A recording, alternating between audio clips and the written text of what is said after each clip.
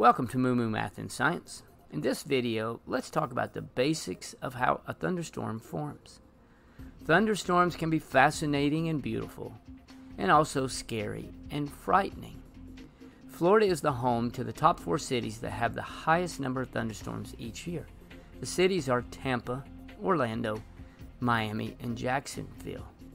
The reason why they have so many thunderstorms is that their conditions of warm, moist climate is perfect for forming thunderstorms. So here's how a thunderstorm forms. Step 1. Warm, moist air is heated and begins to rise upward. Step 2. As this warm air rises, it's filled up with moisture and it begins to cool. It condenses and begins to form clouds. Step 3. This warm air will continue to rise and eventually will encounter cold air, which will cool the moisture in the clouds, and ice may form. Step 4. Eventually, the cooled moisture and ice will begin to fall to the earth. This action creates a downdraft.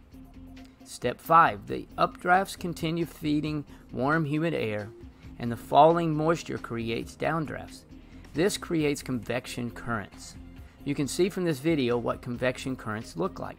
The warm water is in red and the cool water is in blue. These convection currents that are created from the upward movement of moist water and the downward draft of the cooled down water create the most violent stage of the thunderstorm.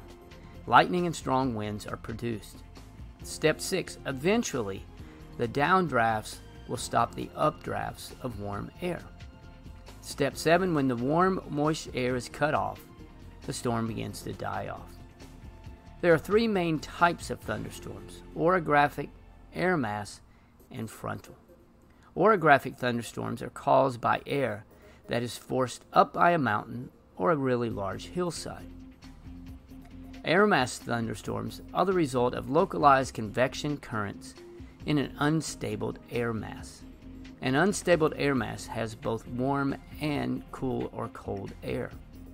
And finally, frontal thunderstorms occur along the boundaries of weather fronts, like a cold front or a warm front. So there we go, how a thunderstorm is formed.